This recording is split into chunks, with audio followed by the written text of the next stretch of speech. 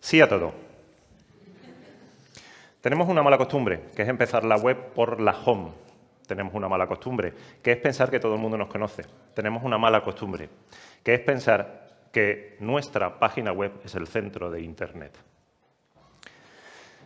Cuando trabajamos en el posicionamiento en buscadores, cuando trabajamos el SEO, eh, normalmente la posición en la cual el SEO suele ser considerado es cuando, hola, buenas tardes, ya tengo mi página web y ahora quiero que me hagáis SEO. Este flujo se, presentó hace unos años y es un flujo que ha tenido bastante, eh, bastante em, como, como que a la gente le ha gustado mucho, ¿no? Y, y cuando miramos este flujo, resulta que la bolita de SEO es esa. ¿Vale? Claro, aquí tenemos un problema, que es que cuando yo llego aquí, yo tengo que desmontar toda la página web y hacerla de nuevo, que es lo que más le gusta al dueño de la página web. Lo que más. Cuando SEO interviene en un proceso de desarrollo, SEO interviene en todo el proceso anterior, desde el minuto cero, incluso desde la elección del dominio incluso desde la elección del dominio. Hay veces que no se puede ser, pero hay otras veces que sí. Una vez recomendamos a una gran empresa hostelera cambiar de un dominio.es a un dominio.com y nos dijo que sí, que muy bien todo, que el SEO le parece fantástico, pero que tienen 100.000 toallas bordadas con el dominio.es y que tienen dos millones de platos con el dominio.es y que mi opinión era muy querida, pero que iba a dar igual. Y es cierto que el SEO realmente no es lo más importante de todo. Cuando hablamos de SEO, hablamos siempre de una necesidad y normalmente pensamos en el concepto de buscador. Y hay un gran error en pensar el SEO solamente como un concepto de optimización para motores de búsqueda. Hay un término que se utiliza mucho que es el SXO, Search Experience Optimization, que es la experiencia de usuario, la experiencia de la optimización de usuario. Que eso no quiere decir que olvidemos al SEO. Si queréis etiquetarme, arroba senolmunoz en cualquier red social, en cualquiera, menos en TikTok, donde ya llegué tarde, ya no tengo edad para TikTok. Eh, tenéis todo, tenéis la presentación subida, con lo cual ya la tenéis a, vuestra disposición, a, hacer con ella lo que, lo que veáis. Cuando hablamos de SEO y cuando hablamos de una página web, tenemos que tener muy claro que la página web es parte de tu negocio. No es el negocio en sí, o la mayoría de las veces no es el negocio en sí. Porque si la web se cae o la web desaparece, tu negocio desaparece. Igual que la página web es parte de tu negocio, el SEO es parte de tu estrategia de marketing. El SEO no es una estrategia de marketing en sí misma. El SEO es parte de una estrategia de marketing.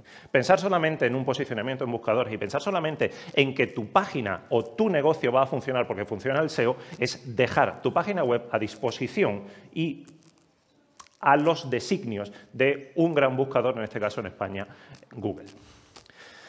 Si todo esto es así, ¿por qué la interfaz de la web, la interfaz de tu web, la eliges según gustos y no según intereses de negocio? ¿Cuántas veces nos hemos sentado delante del showcase de WordPress a decir, a ver qué plantilla me gusta? Plantillas de WordPress eh, para eh, una inmobiliaria. Buscar. Voy a tener suerte.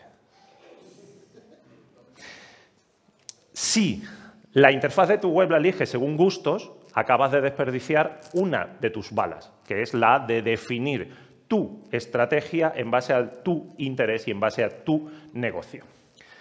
Importante, arquitectura web y navegación web son dos cosas diferentes. No pensemos nunca en la arquitectura web y en la navegación web de, de, la misma manera. Son dos elementos completamente diferentes. Esto lo vamos a ver. No es lo mismo poner carpetas que poner menuses.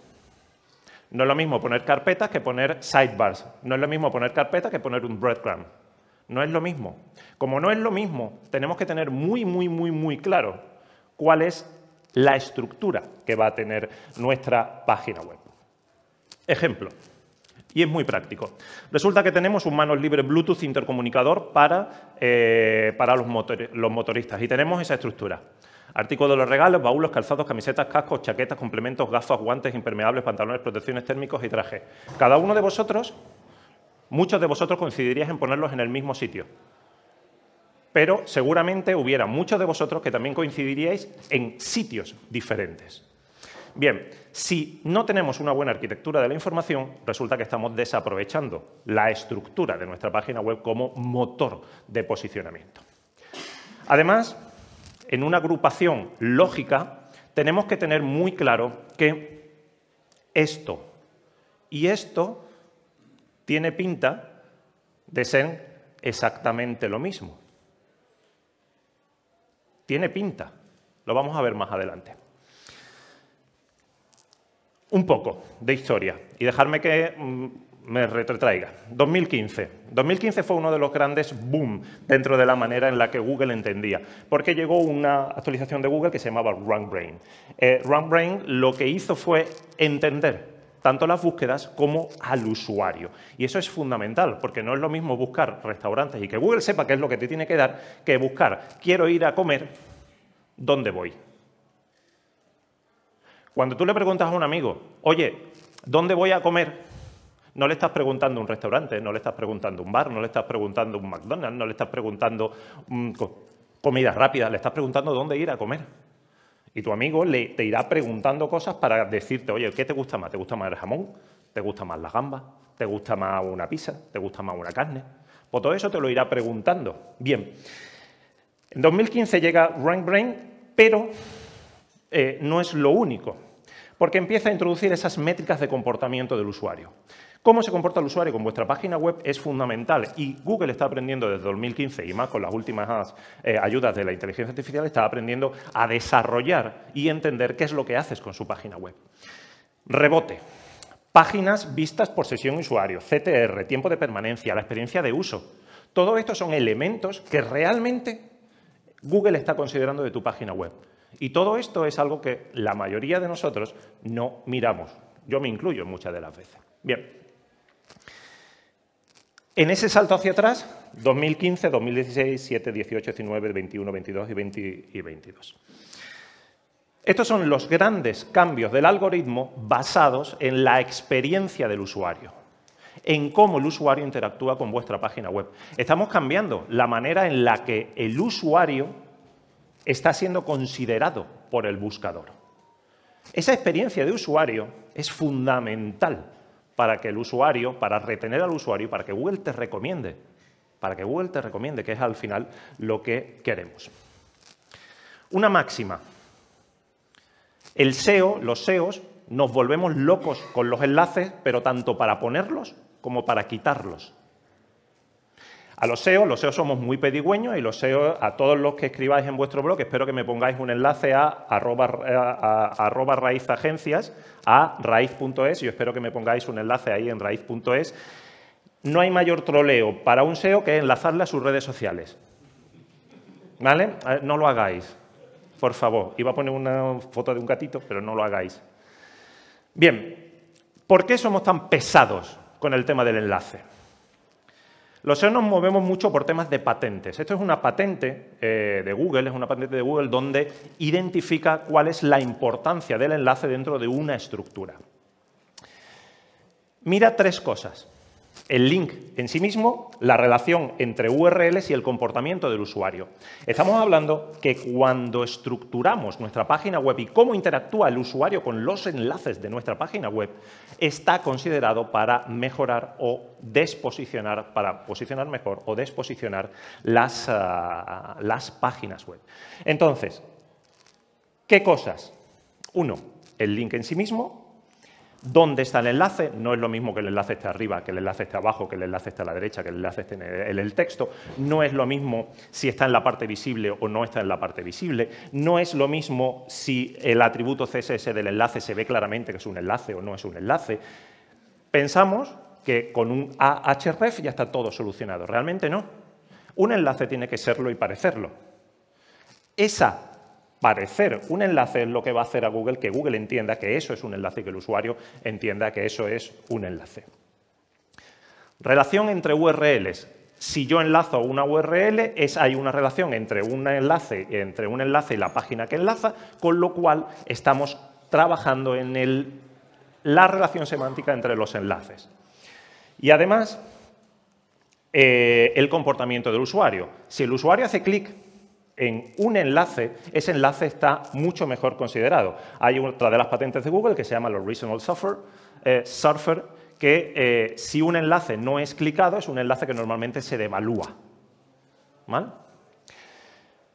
Fundamental, comportamiento del usuario. Este comportamiento del usuario en cómo el, eh, usuario interactúa con el enlace, qué enlace se pincha, qué enlace no se pincha, la frecuencia del clic, el idioma del usuario la configuración. Toda esta experiencia de usuario es fundamental para que el enlace sea mejor o peor considerado. Una máxima en SEO una URL, una oportunidad de posicionamiento. Pensad siempre en eso. Si tenéis dos URLs para lo mismo, estáis desaprovechando. Si tenemos una sección de cascos de moto, no puedo tener otra sección de cascos de moto. ¿Vale? O no puedo tener N secciones de cascos de moto. Esto, igual que los enlaces, es fundamental en el mundo SEO. Ejemplo, si buscas en Google comprar iPhone 13 y te aparecen todos esos resultados, vosotros como usuarios, ¿a cuál clicaríais? Realmente no sabríais a cuál clicar. Normalmente te vas al primero, pero por cadencia. Voy al primero. Realmente el primero es un iPhone 13 de 256, el segundo es uno de 512, el tercero de 128 y el tercero es un 13 Pro de 512. ¿Qué es lo que pasa? Google no sabe qué URL darte como mm, resultado correcto para esto. ¿Por qué? Porque tenemos muchas que luchan por eso. ¿Qué es lo que tendríamos que hacer? Tener una URL para la keyword iPhone 13. Bien, ¿de qué forma podemos describir nuestros productos? Cuando tenemos un producto, cuando tenemos un elemento, lo podemos describir de muchas maneras. Esto es una simple gafas de sol que puede ser a la vez trabajada en un montón de paneles informacionales. Esos paneles informacionales me permiten reordenar mi página web en base a todas esas estructuras. Eso al final se basa en la propia estructura de una gafa de sol y eso es lo que después tenemos que ver si es interesante para nosotros en posicionamiento o no es interesante para nosotros en posicionamiento. ¿Cómo lo sabemos? Lo sabemos en base al número de búsquedas. De aquí vemos que gafas de sol negra tiene 390 búsquedas, gafas de sol arnett tiene 1600, gafas de sol Oakley tiene 2900 y 9900 la keyword gafas de sol ray Entre gafas de sol ray y posicionarme por la keyword gafas de sol en Pori Armani, pues obviamente voy a preferir posicionarme por la keyword gafas de sol ray pues esto es en lo que impacta una arquitectura. Entonces, ¿qué tiene que tener una buena navegación? En una buena navegación, eh, la relevancia de la URL se basa en cuán profusamente está linkado, a qué profundidad se encuentran los links entrantes, desde qué página web y su relevancia están linkados. Tenemos que prestar atención además al número de búsquedas, si la búsqueda transaccional, si la búsqueda de marca, etcétera, etcétera. Ya, os digo que todo esto lo, tenemos, lo tenéis eh, lo tenéis en la presentación y está a disposición. Cuatro puntos de UX, cuatro puntos de SEO. Sencillo. Dar confianza al usuario, incluir elementos relevantes para el negocio, llamada a la acción, ser pulco con los estándares, incluir elementos relevantes para el posicionamiento, organización, agrupación, lógica, claras, etiquetas claras y minimizar los enlaces redundantes. Cuatro de UX, cuatro de SEO. En una arquitectura, si tenemos cuidado con este tipo de cosas, mucho mejor. Ejemplo, punto número uno de UX, dar confianza al usuario. Yo tengo que llegar a una página web y ver y saber por qué tendría que comprar en esa página web. ¿No os ha pasado muchas veces que llegáis a una página web y dices, hostia, colega, ¿esto de quién es? ¿U qué miedo meter aquí la tarjeta de crédito? Y nosotros somos usuarios más o menos adultos con un conocimiento más o menos elevado de Internet. Tendríais que ver a mis hijos intentar comprar camisetas de fútbol réplicas en páginas web de dudosa procedencia. ¿Vale? Pero esto, para el usuario que compra, es una manera de dar confianza al usuario. En este caso, estudiar en UNIR y la universidad que te despliega toda esta estructura, lo único que hace buscar es esa confianza en el usuario. Punto número dos, incluir elementos relevantes para el negocio, que muchas veces no tienen nada que ver con SEO. En este caso, eh, vitamina J tiene un enlace a yo. Vitamina J es un trabajo de una persona que vende jamón. Algo tan sencillo como tengo cerdo, crío cerdo y vendo jamones. Pero se basa mucho en la relevancia de esa persona y el trato de esa persona. Por eso es importante, desde el punto de vista de negocio, de incluir ese yo. A nivel de posicionamiento, esa URL es una mierda. No sirve para nada, pero es una URL que impacta en el, en el negocio, porque es muy importante para él demostrar que hay una persona detrás de esa eh, estructura. Punto número tres, llamada a la acción. Llegamos a una página web fantástica, un diseño espectacular. ¿Qué mierda hago con esta página? ¿Dónde clico? ¿Dónde voy? Páginas web de hoteles donde no hay un botón de reserva. Páginas web de un restaurante donde no se ve dónde está, no se ve la carta, no se ve nada.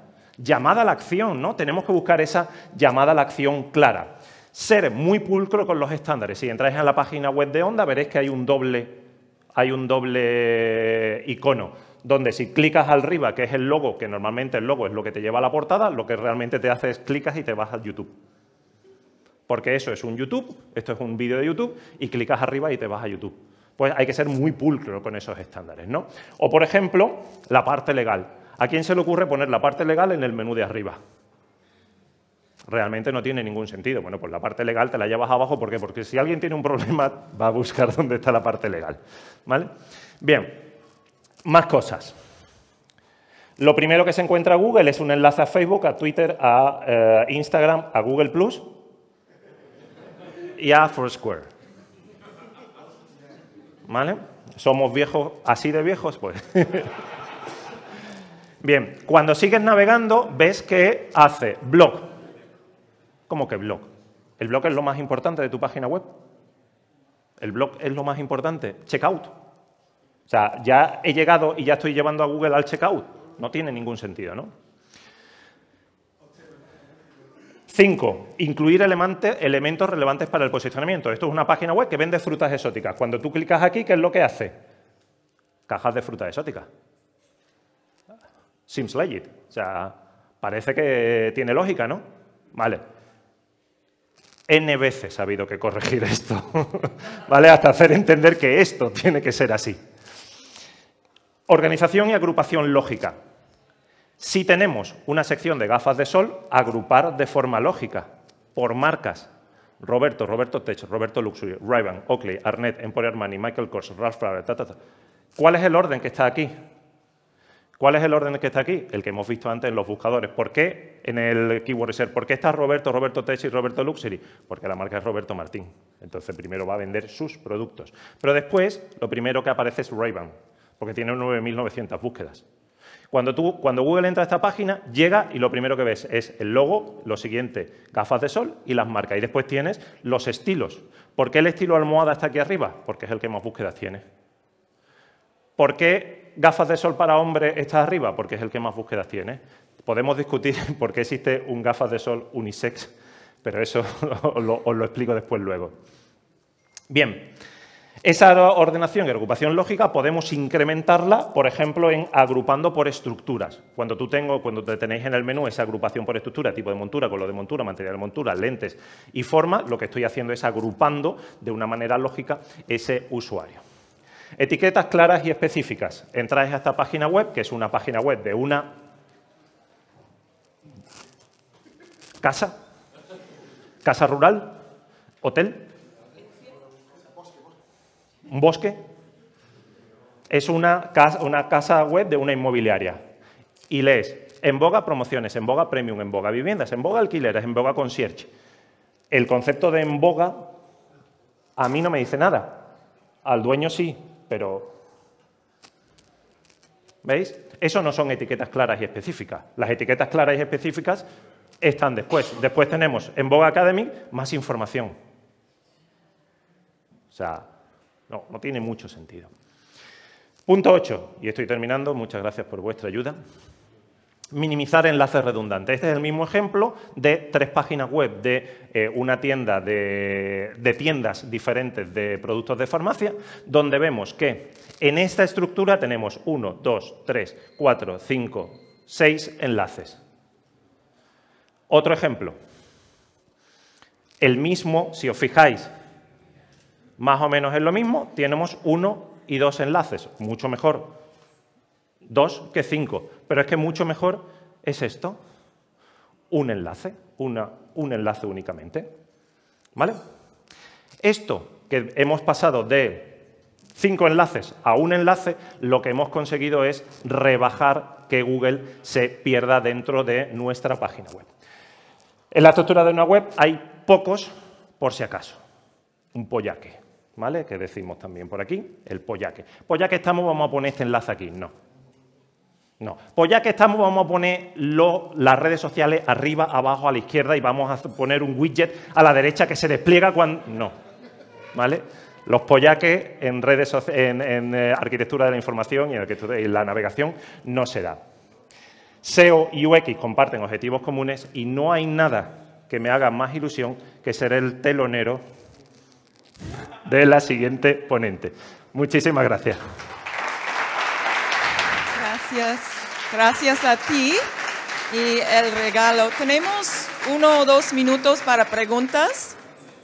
If I understood what you were saying, I would have a question for you. No, thank you.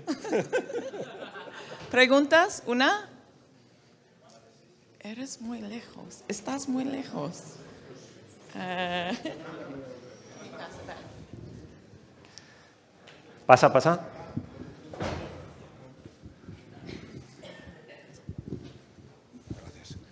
Muchas gracias por la charla, Fer, súper interesante. Eh, has estado comentando de la importancia del comportamiento del usuario dentro del sitio a la hora de esa evaluación del, SEO. Esa información eh, interna de nuestro sitio, ¿cómo la recoge Google? Es decir, Google tiene uno de los mayores, tiene dos de los mayores spyware del mundo. Uno es el Chrome y otro es Android es información que a través del navegador nosotros compartimos con, Google. ¿De acuerdo? ¿Y eh, hay alguna limitación respecto a qué tipo de información recoge? Quiero decir, has estado hablando del rendimiento del CTR en enlaces, ¿es ese tipo de cosas o hay eh, ciertos límites, digamos, a nivel de privacidad que tú sepas? Eh, cuando hablamos de cuando hablamos de privacidad, eh, el intercambio de información es tan ingente entre nuestros dispositivos y, no solo el propio buscador, sino también el resto de aplicaciones. Por ejemplo, TikTok es una de las grandes también eh, de las grandes eh, aplicaciones que, mm, se queda con muchísima información.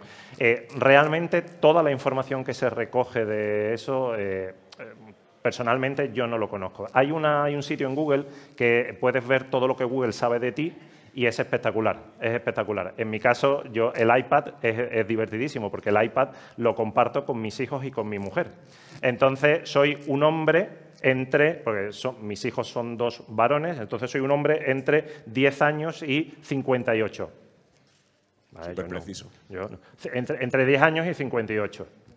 Entonces, eh, eh, eh, sí es, interesantísimo, cuando estás logueado hay un sitio de My Activity, hay un sitio donde puedes saber todo lo que sabe Google, todo lo que sabe Google de ti y después todo lo que sabe Google de ti que no te dice.